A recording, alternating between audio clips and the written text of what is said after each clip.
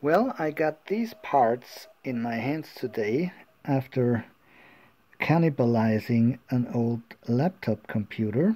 And what they are, they're little speakers that apparently have been used for sound purposes in the laptop.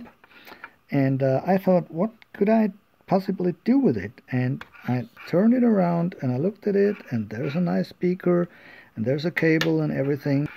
And then I thought, uh, well, they would uh, make a nice little stand for my QCX Mini. And here is what I had in my hand half an hour later.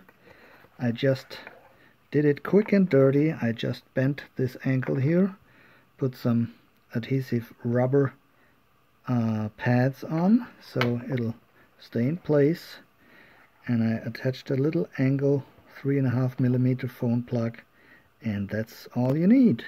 Your speaker is here and the whole setup now looks like this. And it works really nice I think.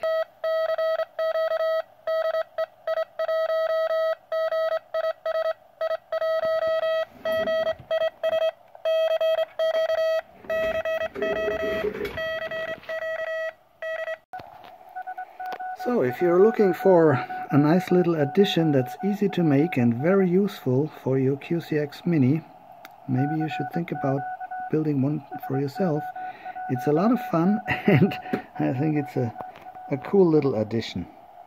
73s from DL9 SCO